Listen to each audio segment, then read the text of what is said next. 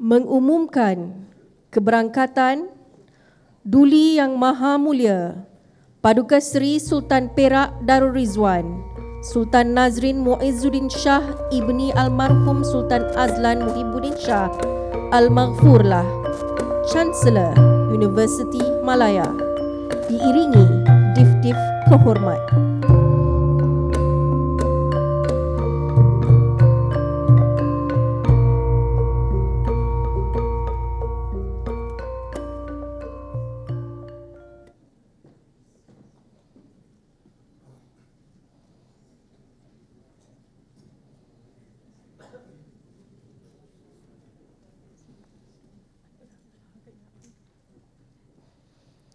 Para hadirin dipersilakan duduk.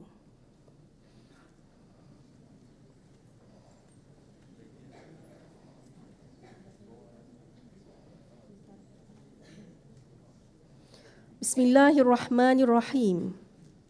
Assalamualaikum warahmatullahi wabarakatuh dan salam sejahtera. Menghadap Duli Yang Maha Mulia Paduka Seri Sultan Perak Darul Rizwan Sultan Nazrin Muizzuddin Shah, Ibni Almarhum Sultan Azlan Muhibbuddin Shah Al-Maghfurlah, Chancellor Universiti Malaya. Ampun tuanku, beribu ampun. Sebah patik mohon diampun. Patik bagi pihak majlis menjunjung setinggi-tinggi kasih di atas perkenan duli yang maha mulia tuanku sudi mencemar duli berangkat ke Majlis Syarahan Umum Profesor John L. Esposito pada pagi ini. Patik memohon limpah perkenan duli yang maha mulia tuanku untuk Patik mengacarakan majlis dalam bahasa Inggeris. Menjunjung titah tuanku. Praise be to Allah and prayers to the Prophet Muhammad his family and companions, pro-chancellors, chairman, and members of board of directors, vice-chancellor, Professor John L. Esposito, Professor of Religion and International Affairs and of Islamic Studies, Georgetown University, Washington, D.C. Distinguished guests, ladies and gentlemen, on behalf of Academy of Islamic Studies, University of Malaya, I would like to extend my warmest welcome to all of you to the special lecture by Professor John L. Esposito entitled Muslim World in the West and the West New Challenges. Ladies and gentlemen, I am honored to introduce Professor Esposito before I invite him to the stage for his lecture. John L. Esposito is a university professor, currently a professor of religion and international affairs and of Islamic studies at Georgetown University. He is also a founding director of the Alwaleed Center for Muslim Christian Understanding and the Bridge Initiative Protecting Pluralism ending Islamophobia and the Walsh, in the Walsh School of Foreign Service. In 1974, he received his PhD from Temple University with a specialization in Islamic studies and a minor in comparative religions. Previously, he underwent a training in Arabic language at the Middle East Center for Arab Studies, Lebanon, and also at the University of Pennsylvania which renders him a strong ground in dealing with issues related to Islam. Prof. Esposito has been the president of the American Academy of Religion and Middle East Studies Association of North America, among other experiences in the area. Prof. Esposito has written more than 55 books, including Islam and Democracy After the Arab Spring, and What a Billion Muslims Really Think with Dalia Mogahed.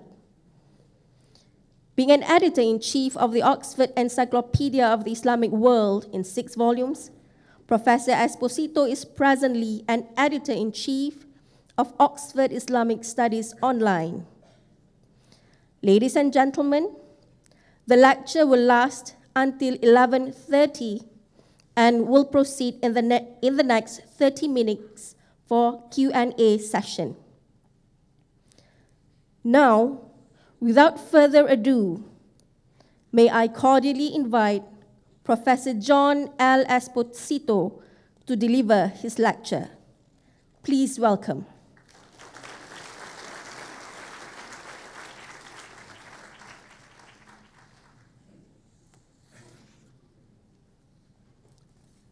Assalamu alaikum. I'm delighted to be here today. The first thing I would like to point out is that I am wearing my University of Malaya tie, which I received many years ago. I've been waiting for the opportunity to wear it again, so I'm glad that I'm here. Um, as I begin to approach this topic, and because of its importance, I will probably be looking down more than I usually do when I lecture because I want to be very clear about what I'm saying. Not just because I think the ideas are, are relevant, but because uh, it can be left uh, to, to misunderstanding. To give you, in one paragraph, an idea of what I'm really trying to say, is, is to say the following. The old model for development was Western and purely secular. The idea uh, was that to become a developed nation, one had to become uh, more secular and also copy models, simply copy, imitate um, Western models of uh, development institutionally. Today, we live in a different world. Today, we live in a different world. Sometimes rulers of countries don't realize it's a different world. Uh, sometimes academics and uh, other kinds of experts don't realize it. We live in a world of multiple modernities multiple modernities, not just a single notion of what modernity should look like. There is now a modernity that is not simply tied to and simply blindly imitating the West. The Arab Spring and the post Arab Spring in the Muslim world, for example, give us a sense of the diversity of those multiple modernities. Rashid Ghannouchi of Tunisia and his notion of Muslim Democrats and the way in which Ennahda has actually developed within Tunisia itself in recent years um, is similar to that. What Ghannouchi's advocating is not simply imposing a Western model, but rather adapting a model, not only a, adapting a model that has a space for Islam, but adapting a model that has a space for all citizens within Tunisia, but also insisting at the same time that that doesn't mean that it's a model that other countries in the Muslim world should be blindly copying. I remember one conversation with, with, with Ghannouchi and also public statements of his where he would, on the one hand, talk about looking, because reporters would say, okay, are, are you looking to imitate Turkey? And he would say, there's a lot to learn from the example of Turkey, but there's a difference between Tunisia and Turkey at the end of the day, just as he would say there's a difference between Tunisia and Egypt. The creation of these new modernities is not then genetic copying of something that simply and solely came out of the Enlightenment and the West. And again, uh, regrettably, uh, we see in, in, in media and in many sectors of, of Western society um, and sometimes, uh, you know, in, in countries in the Muslim world, people still thinking that the model is the West, and so your judgment about whether a country is developed or advanced uh, is whether, or, or even, quote, uh, uh, good has good governance is simply to look for an exact copying of the Western model. Let me begin by noting, with regard to democracy today in the world, two points. It comes from the annual reports of Freedom House. In the late 1990s, Freedom House reported in the late 1990s there was a significant global shift to electoral democracies. But it reported in 2015, in the first years of the 21st century, there was a, a deduction in democratic freedoms. In 2017, the more recent report of Freedom House, it noted that democracy faced its most serious crisis in decades. that 71 countries that were seen as, in one way or another, democracies, in those countries, there's been a sharp decline in political liberties. On the other hand, 35 registered gains, but 71 backed off.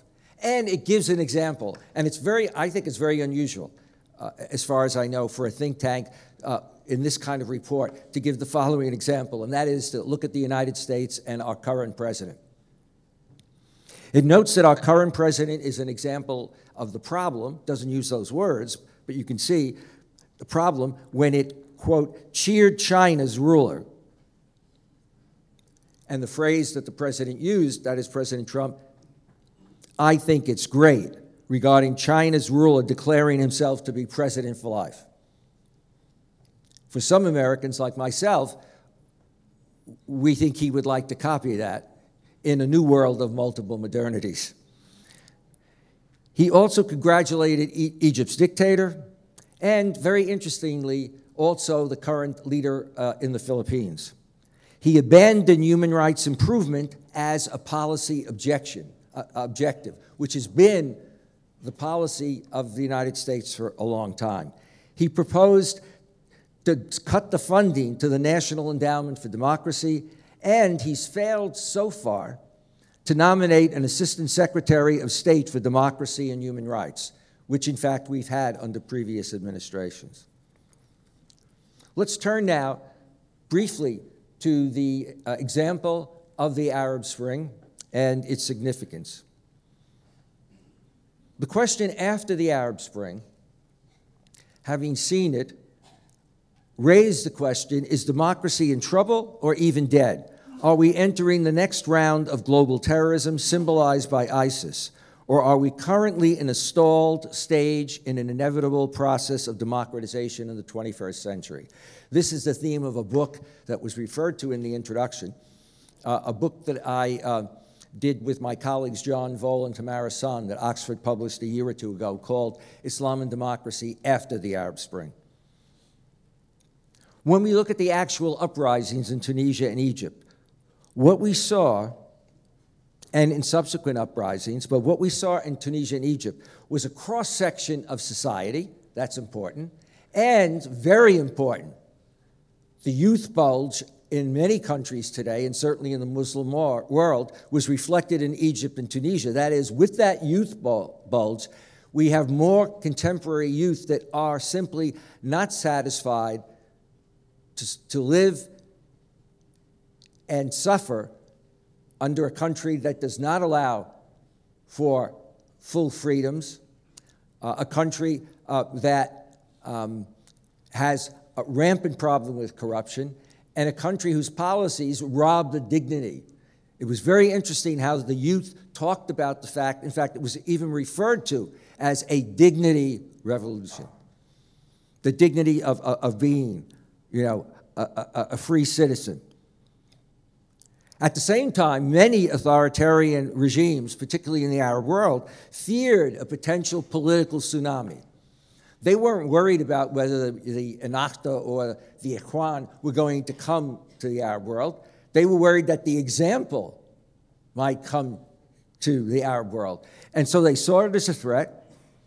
They saw it as a wave of uh, democratization, widespread democratization in the Middle East, and attempted to shut it down.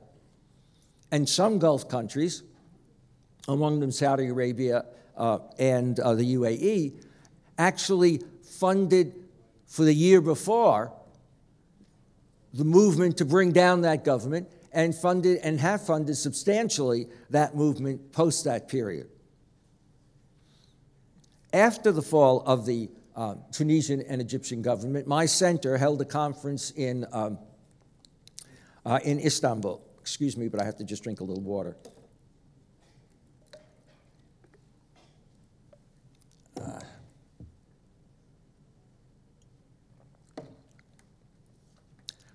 we held a conference in, uh, in Istanbul, and we invited many of the leaders and youth from uh, Tunisia, from Egypt, um, uh, from Syria, uh, etc. However different the discussion, there were two things that they shared in common, two issues. And I think these issues are really important in terms of what came after it. One, the deep state. That is the idea that, as one of them put it, gee, when you had the French Revolution or the American Revolution or the French Revolution, the side that lost was either killed, imprisoned, or left the country. But yet, our concern and fear is that in our country, even though we've now had this political revolution, the same key players are in place within the institutions of the government, i.e., in Egypt, the Mubarak appointees were still there, who were the heads, heads of the court system, the military, the security forces, etc. And that is why, uh, parenthetically, I have often said there never was a Morsi government. There was a Morsi presidency.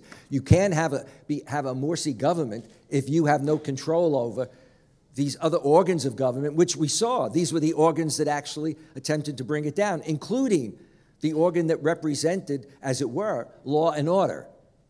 Um, the second concern, uh, which also sadly uh, um, came to be, was the attitude of America and the EU. They kept asking those of us who were from the EU or America, do you think that the US and Europe would ever allow, quote, us not only to have free and fair elections, but more importantly, would ever allow or approve the idea that we might select a leader or, and a government uh, that uh, was independent and, and, that they were um, therefore concerned about, that they didn't know what the results would be. Remember that for the foreign policy of many authoritarian governments, whether it's in the Muslim world or, or elsewhere, the, the, the, old idea, the old order was to say, we're the only game in town that you can trust.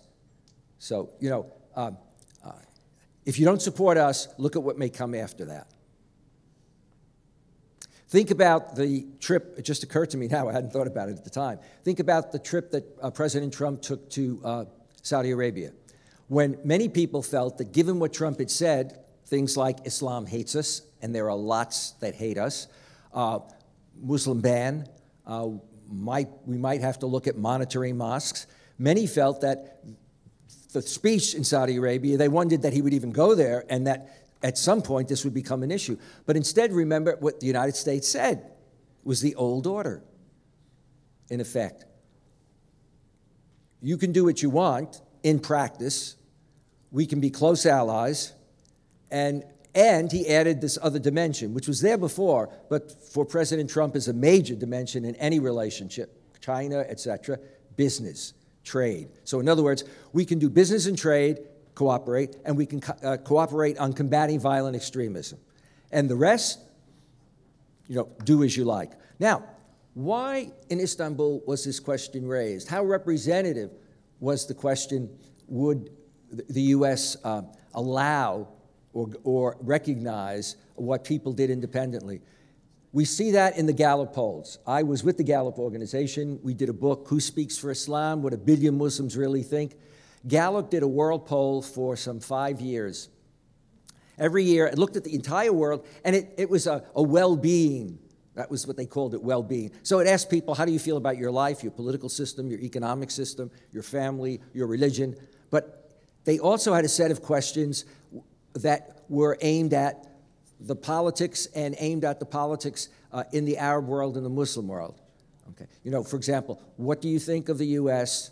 Uh, uh, how about the issue of the, you know, uh, the primary cause for violence? You know, is it religion or is it politics, et cetera? And in the Gallup poll, what we saw was when, they, when we asked the question, the question that came from the phrase that, that some people put after 9 11, you know, why do they hate us?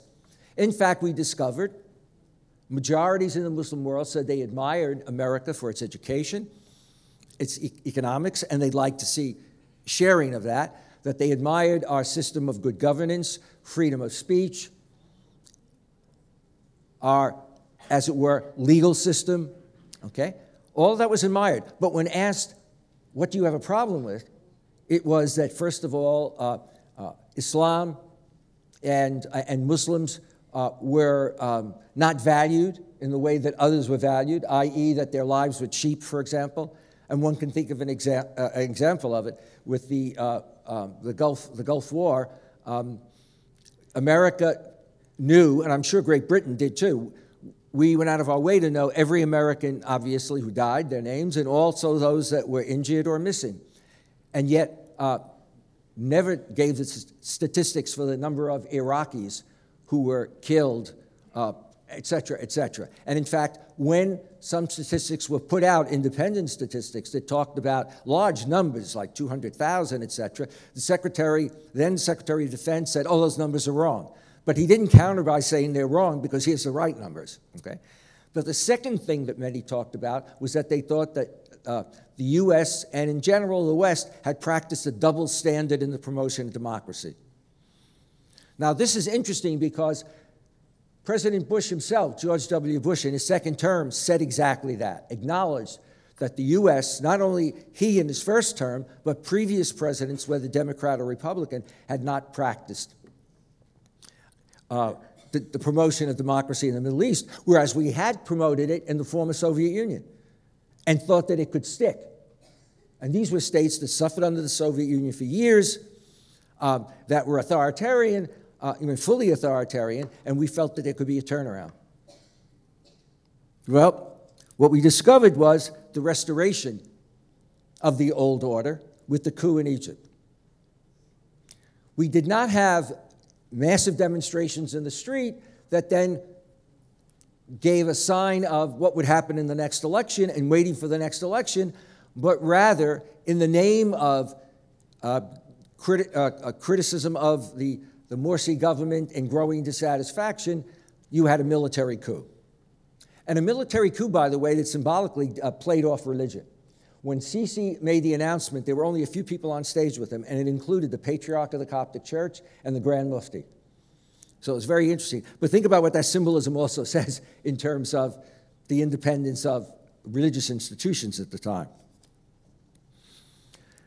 The post Arab Spring, what we some of us call the Arab Winter, saw the restoration of authoritarianism in Egypt, saw the chaos and civil war and sectarian violence in Yemen, Bahrain, and Iraq. So as we look forward, we my colleagues and I, see a new phase. And ironically, we saw the new phase in the book, but that was based on our experience over the years. And we were basically saying we see it down the line.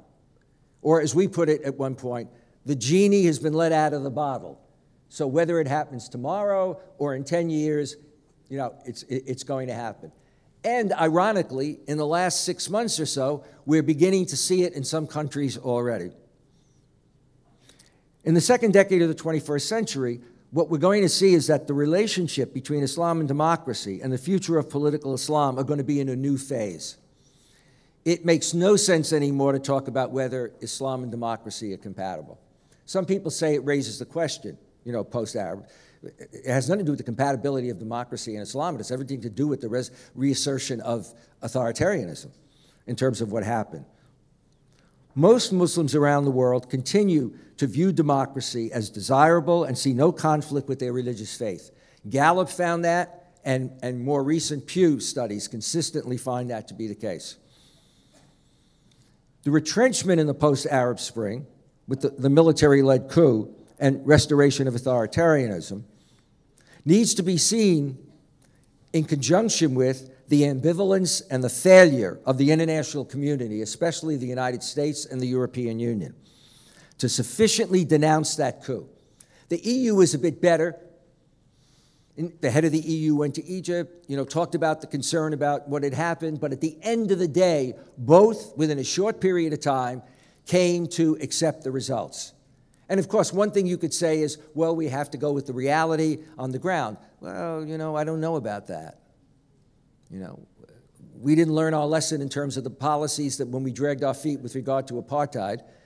But then when apartheid came, we jumped on the train. In this case, they did not jump on the train. The United States remained ambivalent.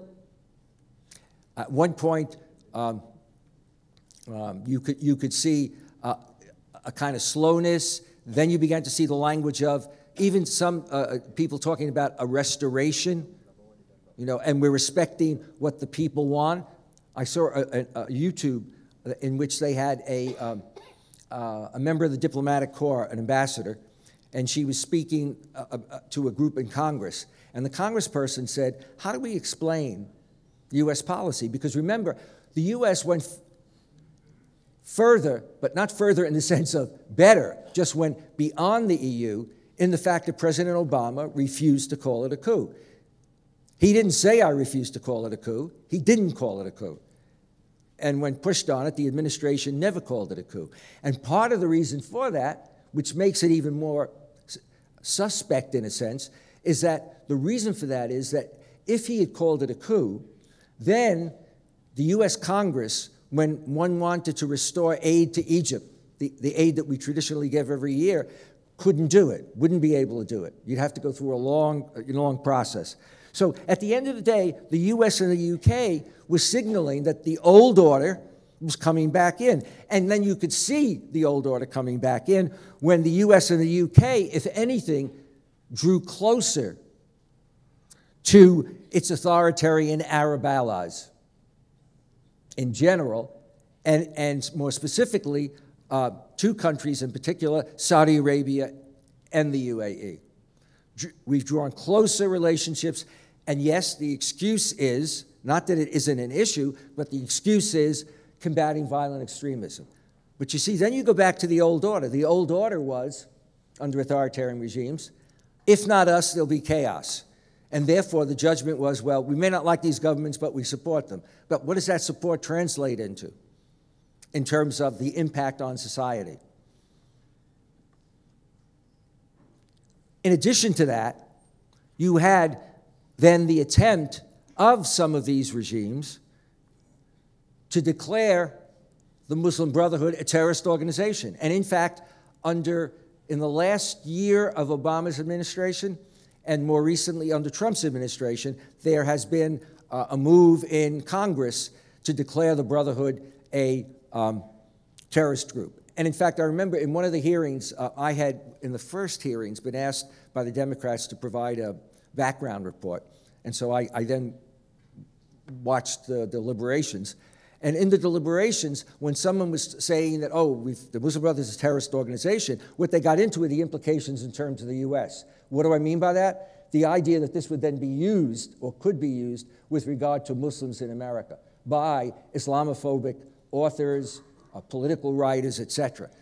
To use that to then say, well, let's look at Muslim organizations. And, and it would be some of the accusations that actually have been made uh, that America is influenced by the Muslim Brotherhood. And that uh, Muslim, gov- uh, I'm sorry, Muslim communities represent that. I've never said this publicly, but you can get on the internet. There's sort of a characterization at times by some who are my critics that I'm the godfather on this issue.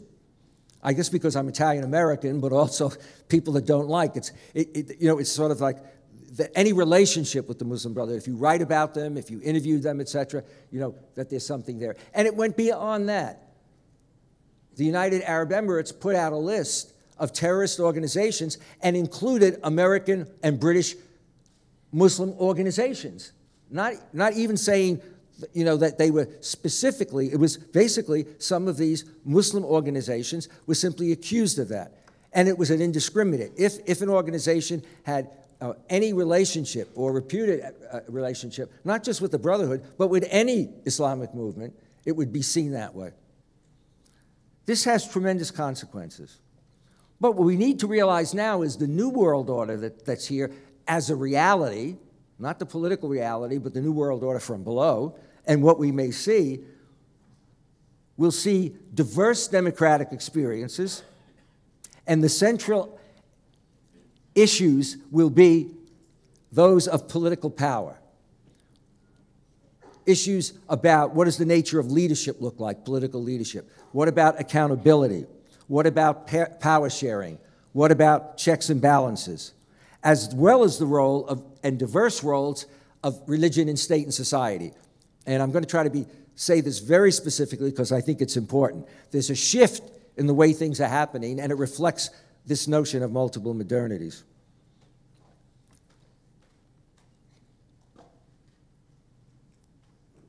A major issue today, then, in the 21st century, is whether or not that old order will endure or that the uh, emergence of a new order. Will many Western governments restore but strengthen ties with authoritarian allies? Well, they've done that since we wrote about this and discussed it, in the name of security.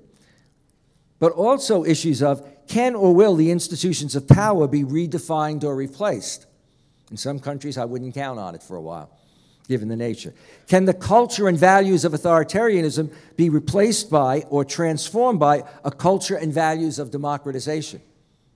I think that when people look and they see a slowness when you have elections and a government comes to power, or you see mistakes being made, they blind themselves to the reality of the democratic process itself.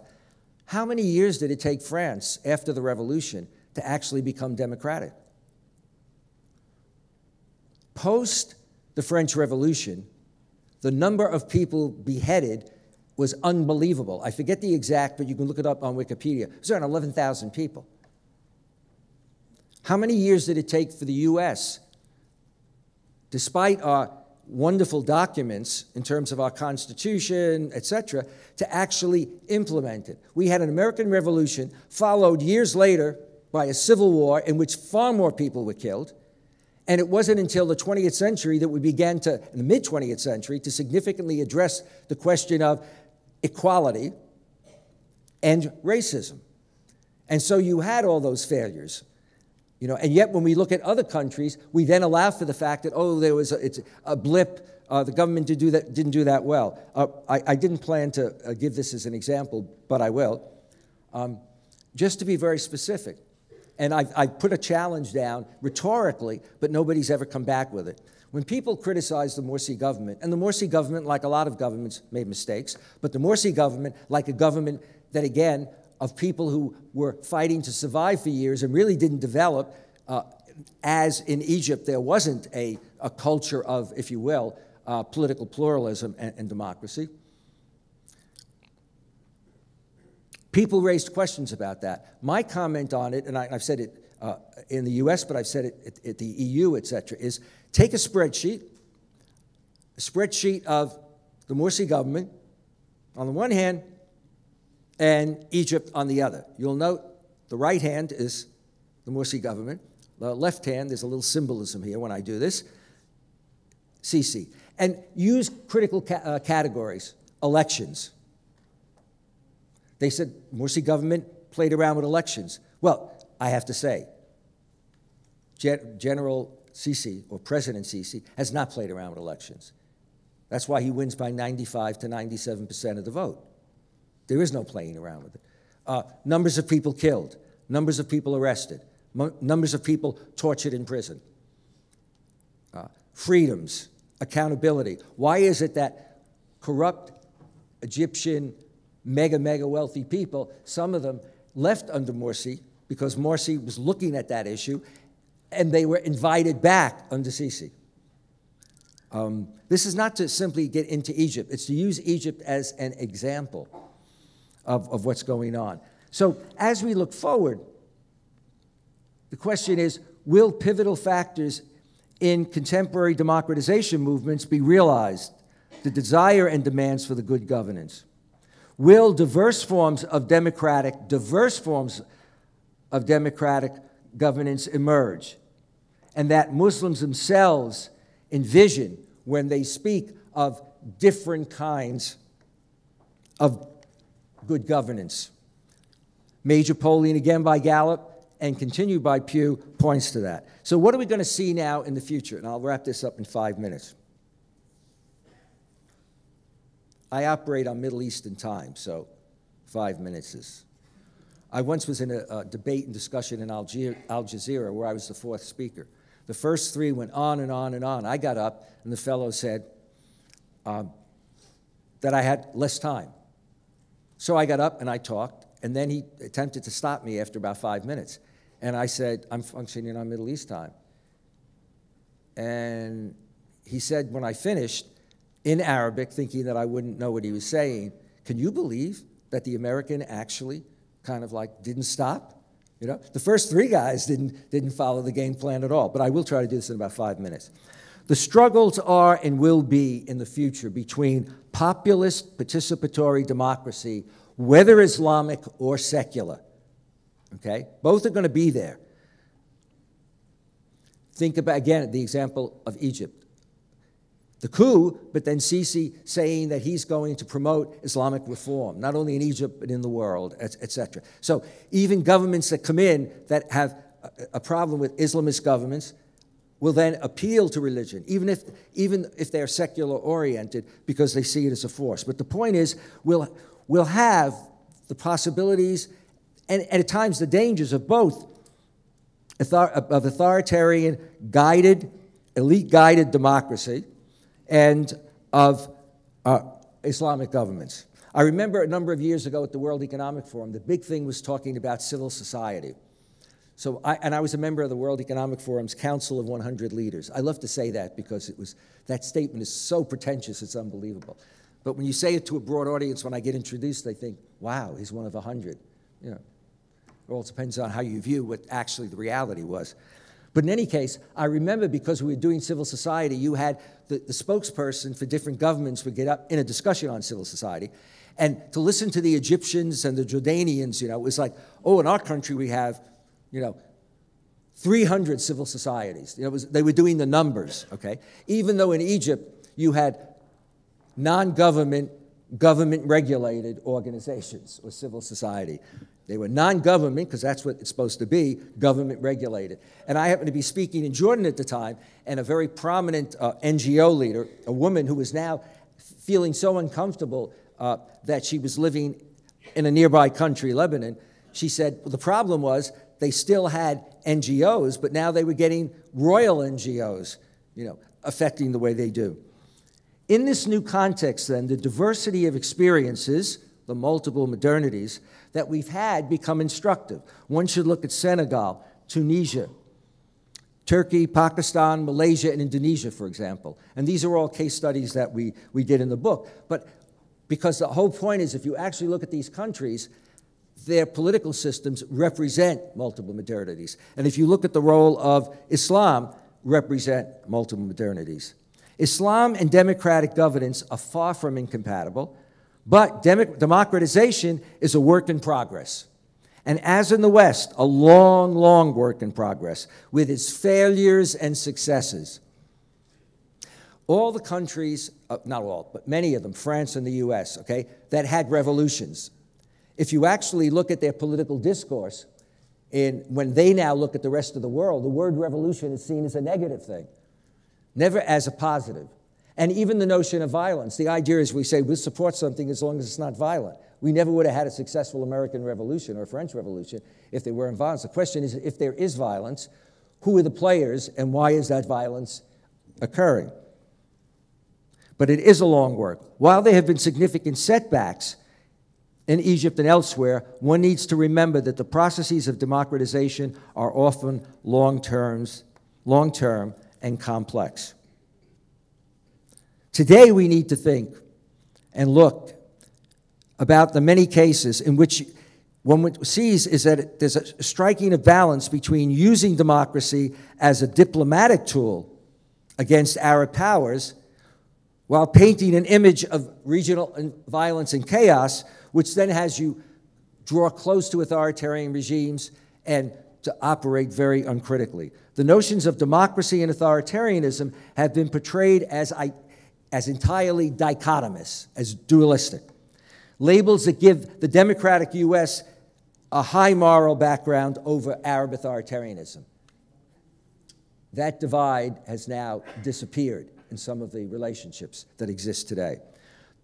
The real power of the US and Europe to influence is their ability to not only construct a new narrative, and we're not seeing that, uh, construct a new a narrative that emphasizes self determination, government accountability, rule of law, and human rights, because that's what we, France, and others say we stand for. But to act on that narrative, we do not see that happening. Failure to do so, and instead accept the restoration of authoritarianism, approve aid packages, and even describe a country like Egypt as on the path to democracy, mimicking what the government might say, legitimates the widespread belief in the Arab world and beyond that the US and the EU have a double standard when it comes to the promotion and support. Equally important, it retreats to the old narrative and conventional wisdom in the Arab world and broader Muslim world. That it's perpetually uh, promoting a violent, that it is a violent and chaotic region or a possibly violent and chaotic region that is incapable of strong democratic reform. This reductionist narrative ignores the realities of diverse multiple materni uh, uh, maternities. I don't know where that came from. Um, I think my wife and I may be having a baby then. Okay. Um, this, this reductionist narrative ignores the realities of diverse multiple modernities. That is, the diverse political context and the role, the diverse role of authoritarian governments in their policies with substantial financial and military support from the U.S. Failure to significantly shift from a monolithic and essentialist perception of the Arab and Muslim world and policies that focus simply on chaos and violence rather than the root causes prioritize instead of um, institutional reform, prioritize that stability means security. And that increasingly will be seen as a dead end. As I bring my, my talk to a close, I would just say that one needs to take a look in the next year or so uh, and see what's been happening in Tunisia, the situation in Indonesia, when you talk about the pluses, for example, in both countries, one can also look at the other side, but it's all part of a process. Is the wave proceeding forward? It is. And I think that we'll see it more and more happening. Thank you.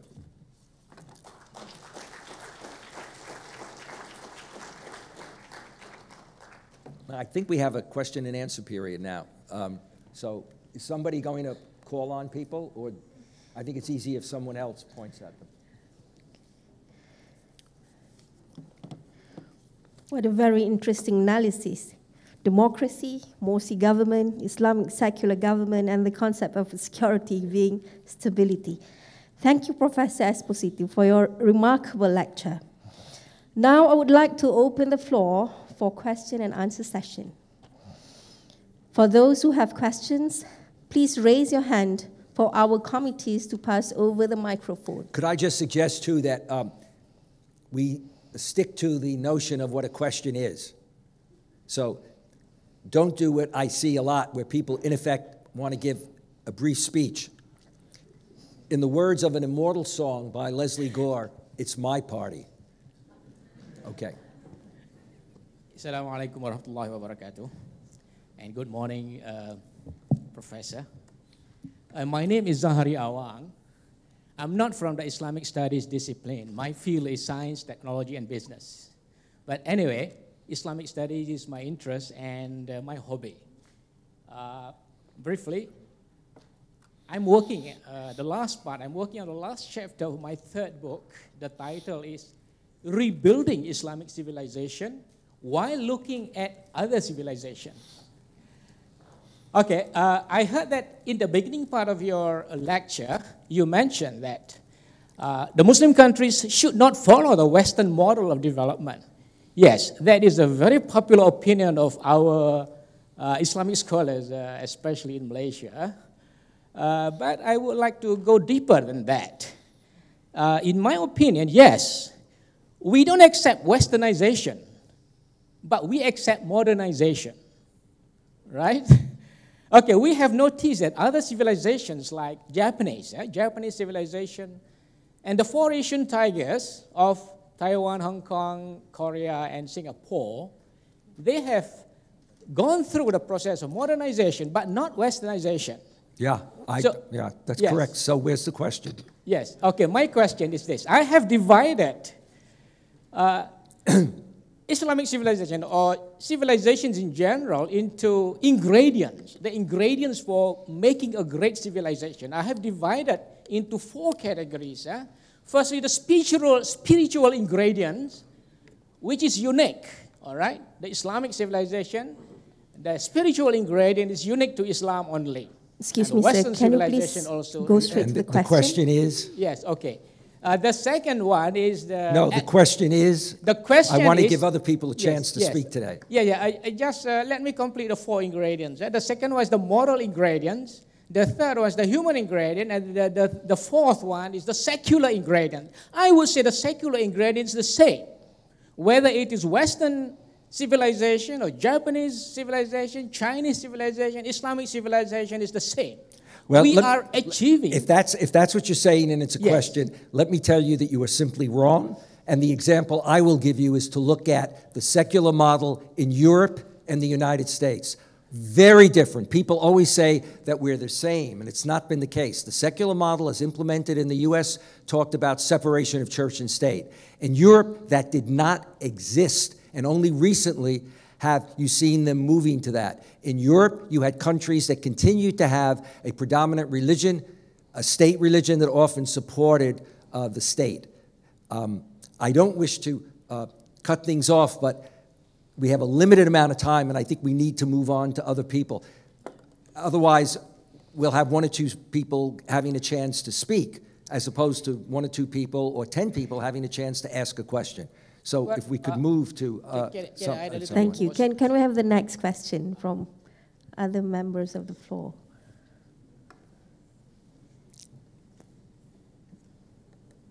Yes. Bismillah, um, good morning. My name is Shafiq. I'm from the Institute of Islamic Understanding Malaysia. Um, um, with all due respect, Professor, I've, uh, unfortunately I've not read enough of your works, but I would like to know more your view, your views concerning on the, the challenge or the threat from the Zionists, since we are talking about the Muslim world and, the- and, and the West, uh, Zionism, the Zionists.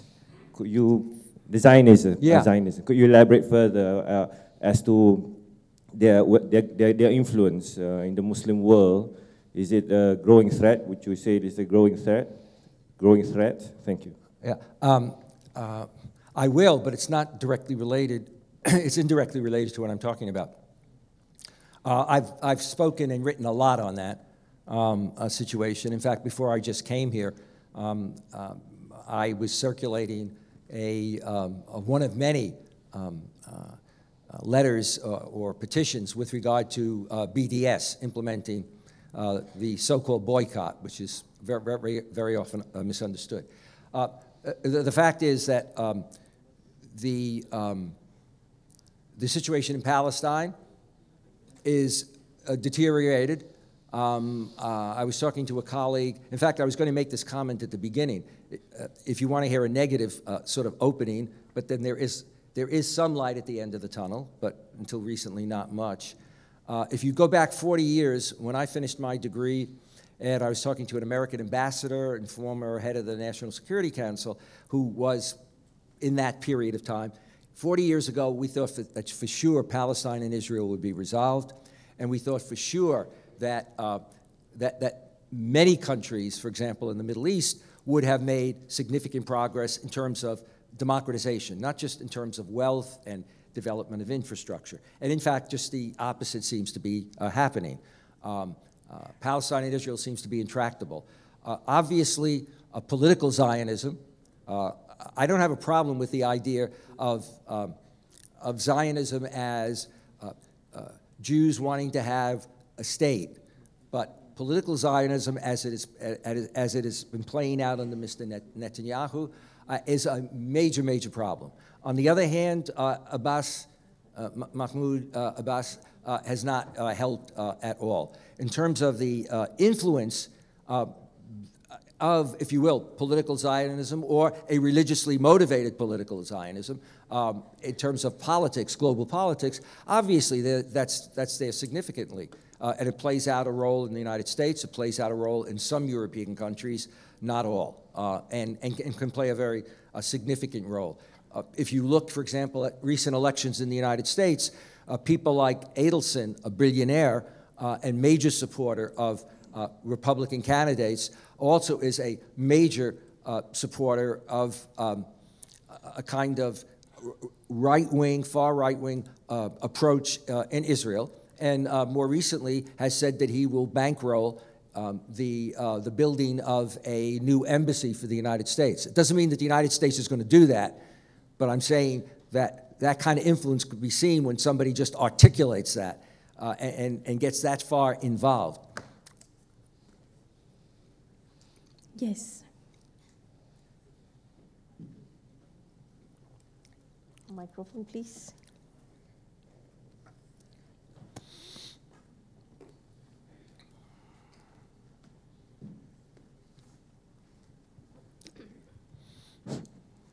Professor, uh, my name is Muhammad Dahan. I'm a graduate of this university way back in the 60s uh, in economics, not in uh, Islamic studies.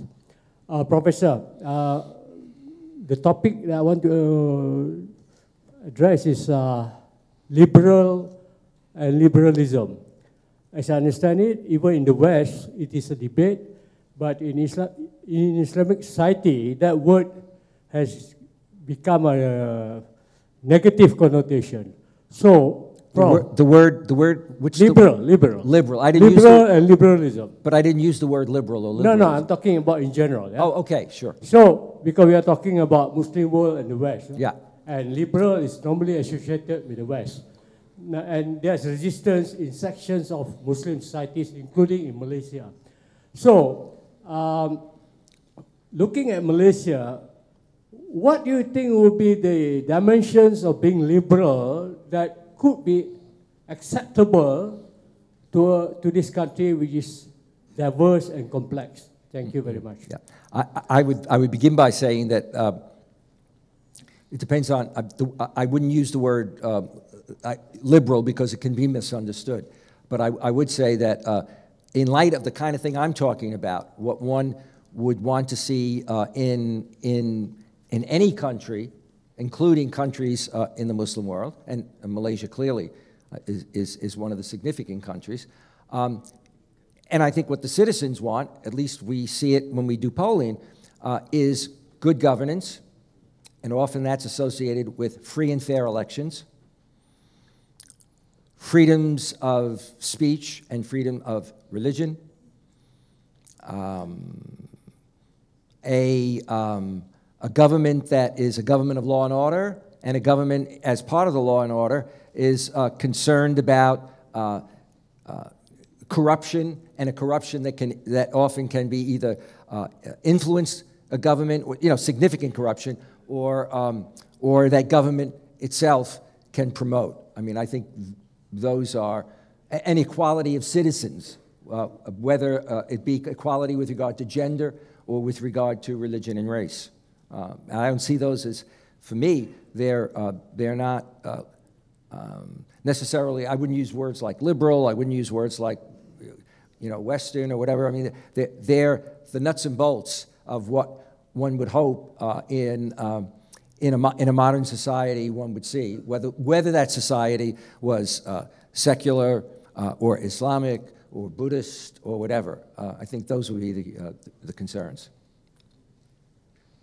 Is Good there any more question? We have, still have plenty of time. Yes? Please. Uh, Professor, uh, I attended your talk in ESTEC.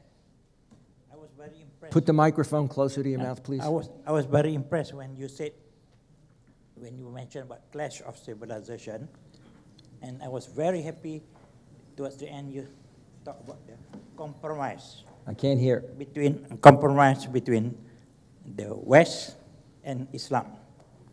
Uh, Professor yourself is a distinguished example of trying to close the gap between the prejudices of Muslim, or as what you said the other day, your topic was Islamophobia.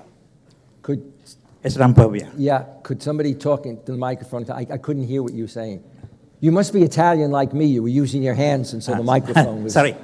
Uh, I was just trying to say, how do you see the closing of the gap of uh, Islam, Islamophobia, i.e., your expert knowledge on Islam, and how do you transfer that to our, to our leaders who control the world today, i.e., Yeah.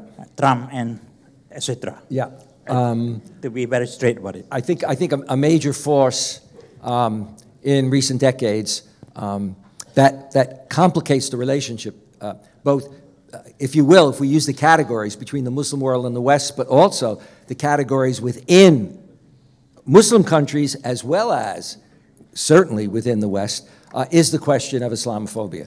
Uh, now, what I mean by Islamophobia is um, uh, a phenomenon that is anti-Muslim and anti-Islam, that is uh, that leads to bias, discrimination, hate speech, and hate crimes. Um, if you want to get a better idea on where I and, uh, and my center uh, stand on this, we have a project called, as was referred to, the Bridge, Protecting Pluralism, uh, Ending Islamophobia. And all you have to do is remember bridge.georgetown.edu. If you just go up and look at bridge.georgetown.edu, you'll see how we address that phenomenon. Uh, we do it by having studies that look at it. We do it by having polling that, that deals with it. Uh, we have a poll that will be launched at the National Press Club that's been done with ISPU, which is a, a, Muslim uh, think tank. Uh, and that poll not only looks at American Muslims today, it's usually they do this every year, but also now compares and looks at what do white evangelicals, Protestants, Catholics, and Jews have, how do they perceive uh, Islam and, uh, and, and Muslims? We have an, a section there that has, uh, we're into providing an alternative narrative on Islam and Muslims, okay? And what we mean by that is not just that we uh, have articles or that people like myself and my colleagues write books on Islam and Muslims. It's that we actually have living alternative narratives, not essays that we're, we're simply writing. So what we have is interviews that are done with a cross-section of Muslims, Muslim entrepreneurs, Muslim professionals, Muslim, you name it, in terms of who, who Muslims are. So you, you, you engage that. And I think one of the most interesting sections, if you look at our fact sheets section, we do fact sheets rather than simply writing articles. We, we, we put the facts that are simply there so that people aren't going to, when you read an article, you can always say you're interpreting or misinterpreting. But these are facts. So, for example, if you want to know, uh, in our fact sheet, we have a fact sheet on uh, President Trump, we have a fact sheet on some of the members of his uh, administration, uh, his cabinet, et cetera, uh, in which it basically tells you what's their attitude been about Islam and Muslims, both before they came into office and after, uh, and, and what are the kinds of policies that they advocate or not. We do the same thing on think tanks. And the reason why we do that is that as of 2015, you have a situation where Islamophobia has grown exponentially. Okay? So on the one hand, there is a positive sense. Muslims, American Muslims, see themselves, and it is a reality, they are economically, socially, educationally integrated. Okay? Uh, and in fact, in the area of, for example, if you're talking about education, Muslims, American Muslims, are second to the American Jewish community in terms of religious communities, in terms of level of edu education. Okay? All of that's, that's there, that positive side. But what those same Muslims will say that they have experienced, or people in their communities have experienced, an increase in the impact uh, of Islamophobia. And now what we see is you see the rise of the far right in Europe, Okay, and people forget this. You've got that far right recent elections in, I think it was Hungary and Czechoslovakia, where you don't have significant number of Muslims, where you don't even have significant number of migrants, uh, migrants, migrants. Uh, jet lag will do this. Uh, so we're into mater maternity and migraines tonight. My wife will say, what was memorable about what you said? And I'll say, oh, I talked about maternity and migraines. But when you actually look at those recent elections where, where you don't have a, a migration issue and you don't have significant Muslims, these people use that as an issue in getting elected. The same was true in Poland. I did a conference in Europe where the Polish scholar got up. It was all people talking about uh, Islamophobia in, in Europe. And she got up and said something like, the good news is, you know, empirically, we don't have a problem. We don't have a lot of Muslims. The bad news is we have Islamophobia. And it's certainly in the government. The Polish government has shown that it's not only Islamophobic, it's anti Semitic. And it's interesting, we find in a lot of studies that there's a correlation. Where we see Islamophobia in countries, there usually is a major problem with anti Semitism. So I think that this is a major force. And why it's significant is because it affects politics, it affects society, it is affecting the civil liberties of, of, of Muslims within that society. You are not simply innocent until proven guilty in, in certain cases. Uh, the, particularly if somebody wants to uh, label you or your community, by you I mean the individual Muslim or the community, as somehow violent. So we have uh, uh, uh, groups that are significant in their numbers. A number of them, like Acts for America, have actually had people like the secretary, current Secretary of State, uh, the current uh, head of the National Security Council, not only associated with them in speaking, but giving awards to these folks. And a group like Act for America ultimately says uh, that the bottom line is all Muslims are potential terrorists because if you're a devout Muslim and you pray and you have your beliefs, you may not be a terrorist, but you're predisposed to becoming a terrorist. Okay. I, you have somebody all the way Yeah, back there that's been hands. jumping up. Um, yeah. Thank you very much. Uh, I I want to directly make my question. That is, uh, uh, P.K. Hitti, uh, Philip K. Hitti, he says that uh, uh, uh, no nation uh, or no people in the early Middle Ages contributed to human civilization as did by the Arabs. But on the other hand, uh, uh, Herbert Spencer, the, uh, the great writer, I mean, he says that this was because of uh, uh, that uh, Muslims were able to uh, take the advantage uh, of the Byzantine or others. So, what is your expertise opinion about it? Is it that Muslim only contributed to human civilization only because of the uh, advantage taken by uh, from Byzantine or others, or they have any something? I couldn't quite, uh, can you repeat the last part? Yeah, the question is about civilization. Um, to what extent Muslims have contributed to civilization, human civilization, is that correct? Yeah, I mean, And? uh, Herbert Spencer, in his book, Yeah. uh, uh, uh, he says that Muslim contribute, contribution was only because they took advantage from Byzantine and others. Uh, I think that um, there is, a, there is um, a, a movement, there, there have been uh, uh, uh, writers and authors, intellectuals, um, Bernard Lewis, for example, a very, very prominent writer, um, ultimately switched from some of his earlier positions, and uh, what, what they begin to do is to say, uh, well, to start with the fact that most people in the West, certainly when I went to school, it's changed, changed now, Islam was invisible in terms of education, politics, okay? Uh, uh, when uh, the American Academy of Religion didn't include Islam back then, okay? Uh, the Middle East Studies Association didn't cover much of Islam. Islam was seen as something that was the past, not visible and significant in politics because of the presumption that it, quote, shouldn't be, okay? All right. Um, so what that meant at the end of the day is that uh, when I went to graduate school, uh, eh, I was stunned to discover that there was this incredible Islamic civilization. It wasn't part of my education, et cetera. Uh, and the results of that, not only in its own time, one can talk about the, the, the ripple that came, for example, in terms of the contributions with regard to art, algebra, you know, the sciences, et cetera. Um, I think that the, the tendency has been to, uh, to, on the one hand, affirm, which I think is true in, in recent uh, centuries, uh, uh, Western civilization has shifted. So when Muslim civilization was at its peak, we had the Dark Ages in the West. In recent centuries, it's been uh, primarily in the West that we've seen uh, uh, many of the, the great accomplishments uh, that occur in civilization, uh, in, in, in Western civilization. That's not to rule out the fact that there's been st- stuff going on within Muslim societies. Uh, there are many reasons why we don't have the same level of development in, in, in, in some Muslim countries, I, I would argue. I can't go into all the, the, the, the reasons, but I can give you some. When you've got authoritarian governments, okay, authoritarian governments control. And how do you control the mind? You control it in a variety of ways. You control the media, the newspapers, kind of message you out. You, universities, in some Muslim countries, you don't teach international relations or political science, you know, because you're going to get to a topic that people don't like.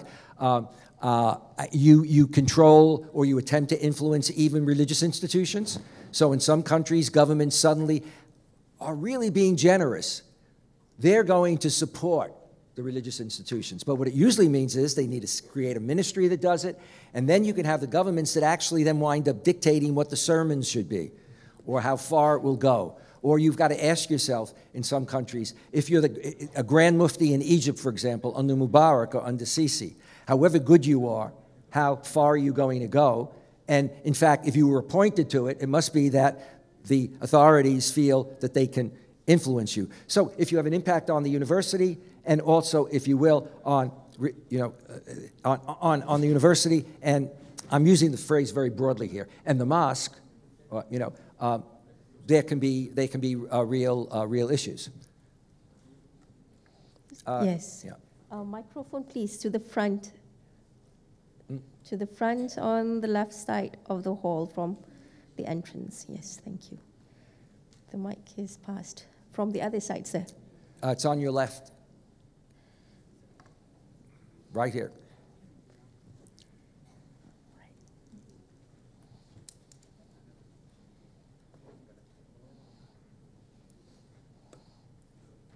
Prof.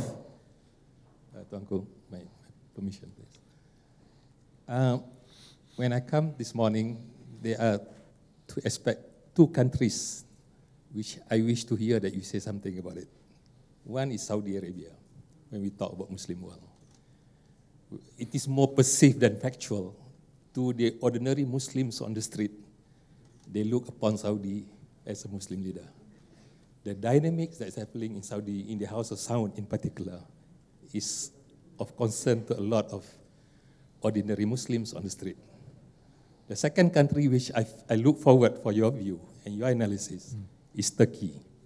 When we talk about relation with the West, if we can tap your view on this. Thank you. Thank you for giving me a very easy question. Um,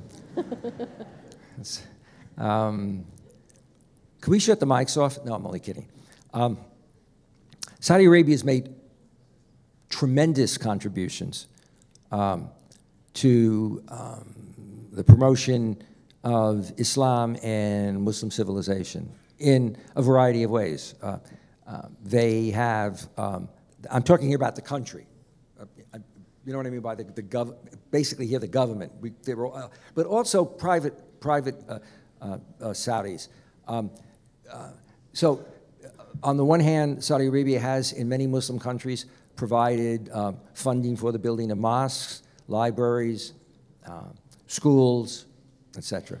Um, and Saudis have been involved in also uh, uh all kinds of uh, uh, projects within the Muslim world, um, some of them dealing with providing education and social services, particularly in developing nations or um, in the case of, for example, my center in Georgetown, Prince Alwaleed, uh, providing an endowment, uh, which then meant that in, in giving that endowment, that that center will exist forever, to the extent that there will be a forever. Sometimes with this world, we don't know how long it'll be. Um, but, um, uh, and I think those, those are important. That is, uh, he was concerned about Muslim-Christian relations. Okay? He did the same thing, a reverse, in overseas in the Arab world. He was concerned about uh, Arabs or Arab uh, education uh, uh, uh, having a good understanding or a, a good knowledge of, of the West. So he funded at AUB, American University of Beirut, and AUC, American University of Cairo, funded American Studies Centers. Okay, so these kinds of things have gone on. On the other hand, as we know, um, and here I'm not getting into um, the, the development of Al Qaeda because the Saudi government is not responsible for that, or you know, uh, it, it's the people who actually, the Saudis that were involved, you know, Bin Laden, etc. Uh, but um, uh, but more more broadly, on the other hand, um, at times, uh, some of the um, people that uh, were in the um, in the institutions and and, and doing the funding, et cetera, um, we're promoting uh, a rather uh, singular interpretation of Islam. Um, you know, I, the diversity of Islam can be seen very simply in, for example, the matter of dress. Hmm? Uh, what it means to be, uh, have modest Muslim dress varies significantly from being fully covered in public space in some countries to uh, women uh, and, and having separation of the sexes to completely different models that exist in countries like Indonesia, Malaysia, uh, and, and, and, many, many other countries, uh, Egypt, etc. Uh, so there's a diversity there. And the same thing should be there when it comes to um, the diversity of interpretations of Islam. Uh, what I mean by the diversity is not, I'm, I'm, not trying to say that we're relativizing Islam. I'm saying that the, that, that, that the understanding of Islam is done by human beings. So whether they're, uh, whether they're uh, religious officials or whether they're uh, academics, uh, uh, if you will, who, Muslim academics here I'm talking about, who talk about Islam and interpret Islam, it's still human beings looking at the sacred sources and the history doing that interpretation. And I think that one of the drawbacks at times has been an, an, the, the, um, the export of a particular interpretation. Uh, and to be frank, I've seen that in a lot of countries, and I saw it in Malaysia. I'm old enough to have seen Malaysia for a long time coming here.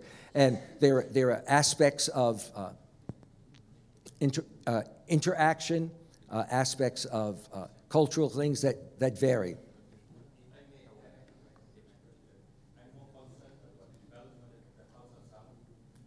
The, the, uh, the development of Oh, you mean today? Oh, the dynamics happening, yeah. Okay. Yeah. The, the dynamic that's happening today is impossible to predict. The, the fact is, we know that we have a, a new crown prince, okay? And, and therefore, more than likely, we will have a new king in, in, in a number of years, in a few years. Uh, uh, king, king, king Salman is older, some people say, etc. Uh, I can't emphasize that too much because he's not that much older than I am.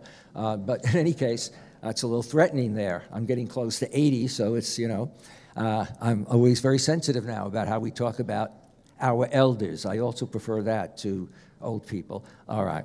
Um, but the Crown Prince has uh, advocated a variety of things. So he's advocated and said that there'll be a political, there'll be religious reforms. Uh, he's not talked about significant political reforms, at least not in any specificity. So we're talking about, therefore, reforms that have to do with education, opening the society more, women can drive cars, um, um, uh, there'll be movie theaters, uh, et cetera, but how far that goes. At the same time, you had the so-called crack, crackdown on corruption, uh, for which uh, there are uh, more than two schools of thought as to what the purposes of that were. Uh, were these people, uh, many of them really corrupt, whether they were the religious leaders that were imprisoned for a long time uh, or the, uh, the uh, key sort of uh, business people, many of the key business people, etc. Um, some people you know, said things like, well, how tough is it to be at the Ritz-Carlton? Get realistic about what the situation you know, is in reality if you're, if you're even if you have a suite in the Ritz-Carlton, and that's where you are for several months, and et cetera, what was expected there. In, ter in, terms of Turkey, I think Turkey is extraordinarily dynamic uh, uh, in the last 10 years, and um, it's very difficult to see where it's going. I would say the following. Um, when the AKP came into power, and it came into power because they had an agenda uh, that many people found attractive. Uh, and, uh, and they continue to win votes, uh, I mean, up until the last elections, but certainly in the, in the early elections, a lot of the votes came from the fact that under the AKP, people saw their, their economy booming, uh, and they saw their society changing significantly. Uh, they saw that it wasn't just secular elites or urban elites uh, that, that had a shot at things. I can remember friends telling me how when Abdullah Gül or Erdogan would be on television, your sort of uh, super right secular Turk would be looking at television and saying, you know, "L- look at these people like, you know, from the rural areas. You know what I mean? They, they don't even dress the way kind of we do. And, uh, you know, they're not as sophisticated as we are. I mean, that mentality, okay, existing. Uh, it, the situation's gotten far more complicated in the last, last, uh, uh, last five years. Uh, you have, before the coup, uh, a concern uh, about um, uh, articulated by the government, but also articulated by an emerging opposition, uh, concern that had significant impact on the politics of Saudi Arabia, and I'm sorry, of, of, uh, of Turkey. Uh, and I think post-coup, um, you have a situation uh, that in which Turkey's role is, is, is very multiple internationally. Uh, that is, Turkey, for example, on the one hand, Turkey, like Qatar, uh, is not um, uh, uh, was sort of was supportive of uh, the Arab Spring in Egypt, et cetera. And as a result, other countries in the Gulf had a problem with that. Uh, and certainly there's been a, a real strain, as everybody knows, in the relationship between Saudi Arabia and Turkey, uh, and between Saudi Arabia and Qatar.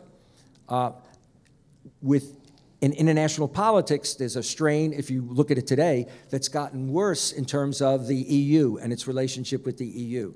Uh, both the EU's activities uh, have become uh, strong in expressing their concerns with regard to uh, Turkish politics and Turkey, uh, and whether or not uh, it, it, it falls, th those actions fall within what membership would require. And on the other hand, uh, President Erdogan uh, saying that he's uh, increasingly concerned and disaffected. Uh, on the issue of, um, uh, in, in the post-coup period, on the issue of uh, freedom of the press and, um, and also ref, uh, ref, uh, the impact on the, sectors of society like the military and education, you have a real tension and a- a conflict not only of words but of realities uh, between sect, uh, sectors within Turkish society uh, and, and the government. Okay? And I should mention, just as I said that I was associated with Gallup, I should mention uh, that uh, I have a long experience in Turkey and uh, uh, have, uh, have uh, had experience with many of the players, both in the government and outside of the government. But I think, I think it, it, the, the trajectory of Turkey is not clear as it was, let's say, up until about four years ago. Uh, I would have said uh, uh, uh, that Mr. Erdogan had a, chance, uh, and still has a chance, to go down in history as an alternative and significant uh, alternative to Ataturk. You know, in terms of impact and contribution. Given the dynamics that now that exists within Turkey and in Turkey's relationships outside, um, it's hard to tell. Um, you know, we don't know. No, not we don't know. I don't know. That's the royal we speaking And now. we have the gentleman. Yep. Thank you, Professor. Uh, I am Dr. Thabit Ahmed, uh, Department of Quran and Hadith, Academy of Islamic Studies, University of Malaya.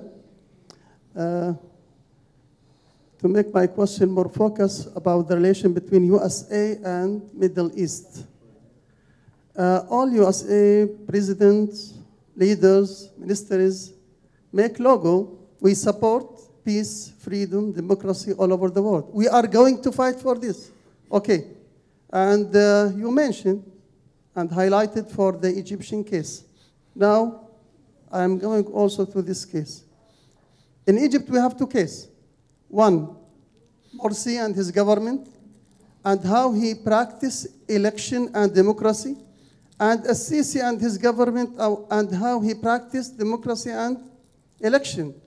And last time he won uh, 99%, and maybe he stay president until the day after, as you know. Now, USA supports Sisi. So what is this game? What's the game? What's the rule of this game that America played? Who's follow the others? uh, the other?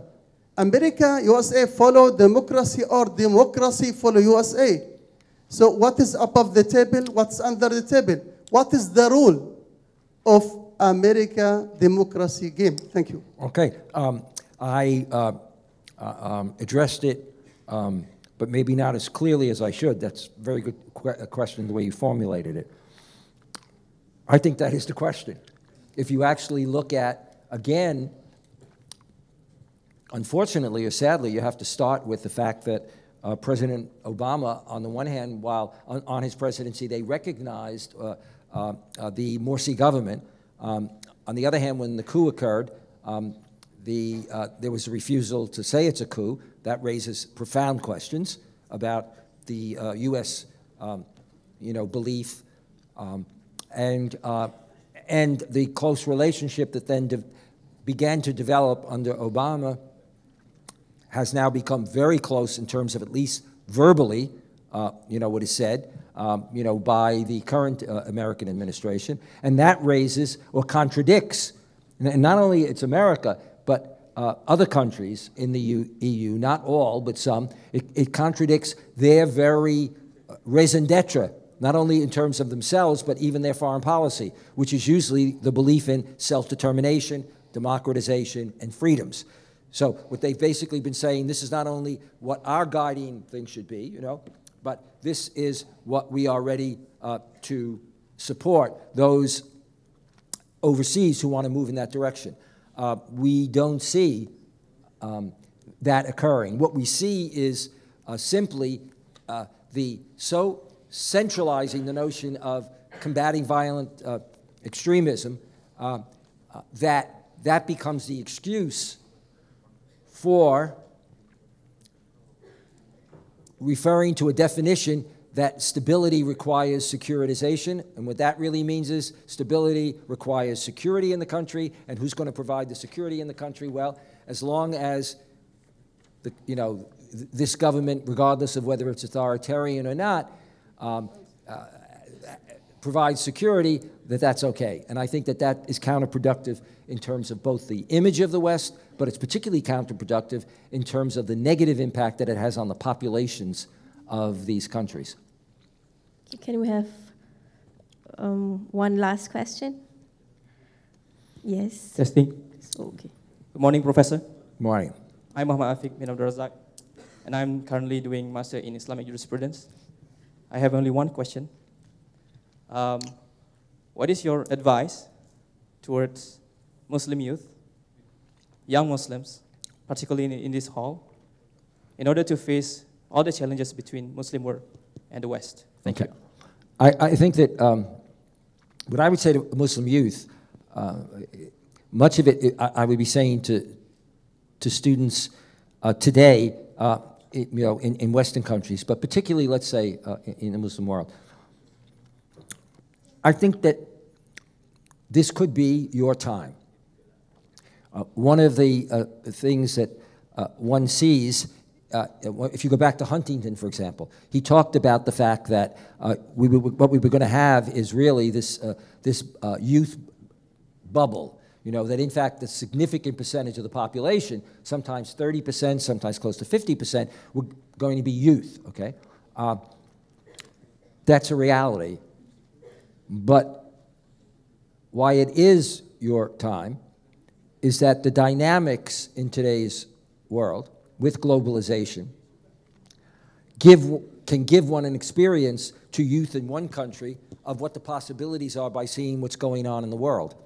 Uh, about a year before uh, Morsi, before uh, Mubarak was overthrown, um, I, I used to go to Egypt regularly. I was talking to a young man who's about, probably about 35, um, a very, very good writer and journalist, uh, and who also had decided to also do a degree on the side in Islamic studies. He's now living outside the country. Let me just say that quickly. But I remember we were standing on a street, and he said to me, You know, Professor, you know, think about the fact that I, this is the young man speaking, uh, and, and many of my, uh, of the youth here, uh, and by youth here it goes into the 30s, okay, um, the only president and the only society we've known is this one person, okay?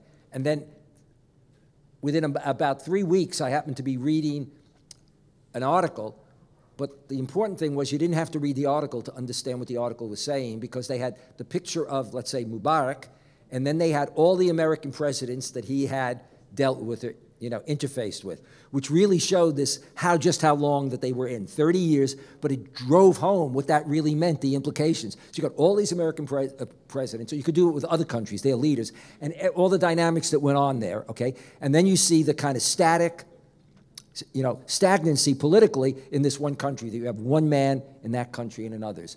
I think that we now have what the Arab Spring shows is the possibility of a significant transformation and not one that is run by just one sector of society, whether it's Islamist or anybody else. The fact is, in Tunisia, in Egypt, people came together across religions, etc., and divides because what they wanted was something that everybody in society should want and have good governance, freedoms, civil liberties. Okay, I think that, I mean, that's really where it's at. And I think with globalization, in terms of uh, Muslim-West relations, uh, there, is, there, is, there are a lot of positives that are happening here with globalization because it's not only youth, but also other sectors of the population in the Muslim world and in the West that with globalization of, of communications uh, as well as travel, et cetera, one really, now we have young people, for example, when they come to university, often many of them already have a, a leg up on understanding the world in which they exist. What do I mean concretely? I teach in the oldest school of international affairs, okay, the Walsh School, uh, the School of Foreign Service at Georgetown. My students now, as opposed to 1993, when I first went to Georgetown, many of them, when they come in, it's not as if, if they're taking a course with me on uh, Islamic politics, women in Islam, etc. Uh, many of them have in high school had world history courses in which they've looked at the religions of the world, in which they've looked at the Middle East, etc. Okay, and many of them are the products of what uh, at many universities, whether it's uh, Harvard or Georgetown, where centers actually um, do programs for high school teachers who teach world history. We go there, we provide them with free books, free instruction, lunch, etc. The school, the school systems don't have to invest any money, but just give them time off. As a result, those teachers incorporate a more global approach, and in terms of what we're talking about, Muslim world and West, or you know, Islam in the West, whatever, uh, students are there. Uh, uh, the Center for Arab and um, uh, Center for Arab Studies at Georgetown. Um, we have a relationship so that at the beginning of the year, I'm often invited when they have their uh, orientation for students, okay? What we discover with the students is that unlike years ago, when in fact what you would be saying to them and presuming was that they knew no Arabic, had never dealt with Arabic. So part of the program was going to be just as they would know nothing about the Arab world, they'd have no Arabic. A fair number of them have already had a year of Arabic, in some cases more. And a fair number of them already have had courses, you know. So I actually sometimes, I forget it. I, I teach a, co a, a course and uh, religion and violence, or as I said, uh, you know, dealing with uh, courses more narrowly on Islamic politics. And I'm stunned by some of the students in my class uh, it, because they came with that background. And then for many of them, if they're interested, we have more students who actually study these areas so that by the time they're juniors or seniors in my class, I'm amazed at the sophistication, you know, what they've read, what they've thought about. So I think this really is a time. I think the change is here. In some countries, governments will attempt to, to, to put a lid on it. As I said, the genie is out as a model. The fact is that you could have the kind of Arab Spring that you had in Egypt and Tunisia, where it was only the government, if anything, that used violence, and yet a revolution took place. And quite similarly, that had happened years ago in Iran whatever we may think about the way Iran ultimately is played out. You know? And it was a cross section of society. The concern before was that with youth was that uh, bin Laden's going to have too much influence, you know, or, or ISIS. In fact, what, what did the majority of youth do, including Islamists? They weren't going into the streets and saying the alternative is, is, is to overthrow and somehow impose, you know, uh, a bin Laden or a Baghdadi model. It was completely different. And you also have the numbers. And if you can vote, you've got the numbers. So you become this important constituency in a weird kind of way. In the old days, it really didn't matter what young people did. You know, if they, they either weren't of the age to vote, and even if they were, they were only a certain percentage of the country, and all the old timers could deal with that. You know, what I always found interesting when I go to, whoop, there goes my ring, excuse me.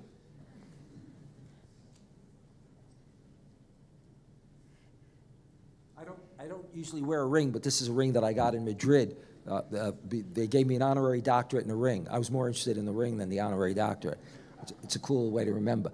But I can remember when I went to uh, uh, visit uh, uh, political organizations, okay, as well as Islamist organizations. I say something like, at a certain time, first of all, it always amazed you was when you went there, the age gap, okay, which was people were very senior. Let's put it that way. Um, and like some authoritarian leaders, um, they uh, came into power and only went out when they went out feet first, uh, which usually was that they died at a certain age, okay? Uh, but I said I want to talk with youth. And so they brought in people who were like 35 and 42. And I, I used to kid all the time that what I liked about it for me as I was getting older was that, and, and I would say this particularly in the Arab world, I'd say, you've got it made. You're, you Arab youth until you're about 25. Then it kicks in, and now you become an Arab youth leader till you're about 45 to 50. And then if you really get lucky, you now are in the club, the leadership. And if you're there, you're good for the next 10, 10 or 20 years till you fade out. That situation is different. You know, not only in Western countries, but in the Muslim world. If there is a fair election, you know, an open election, Muslim youth are an incredible block. And you can play that role in elections, you can play that role, you know, within your society. Thank you all for coming, and I enjoyed it. Thank you. Uh, professor, excuse me, Professor. Could you please remain on the stage for a short appreciation ceremony? I would like to invite the Vice Chancellor yang berbahagia, Datuk Insinyur Abdul Rahim Hashim to the stage to hand over the token of appreciation to Professor Esposito.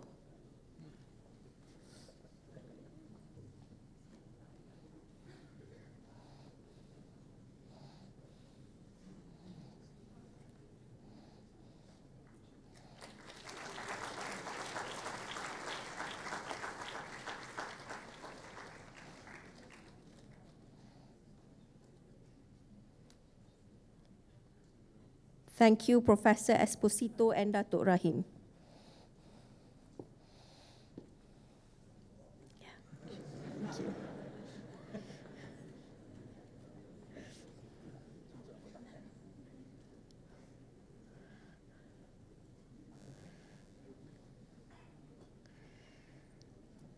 Ampun tuanku, demikianlah berakhirnya majlis syarahan umum bertajuk Muslim World and the West new challenges.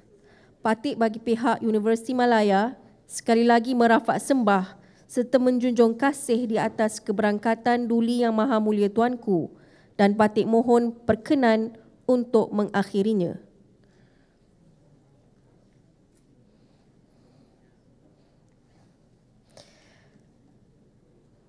Duli Yang Maha Mulia Paduka Seri Sultan Perak Darul Rizwan, Sultan Nazrin Muizzuddin Shah ibni almarhum Sultan Azlan Muhibbuddin Shah Al-Maghfurlah, Chancellor Universiti Malaya, berangkat meninggalkan majlis diiringi dif-dif kehormat.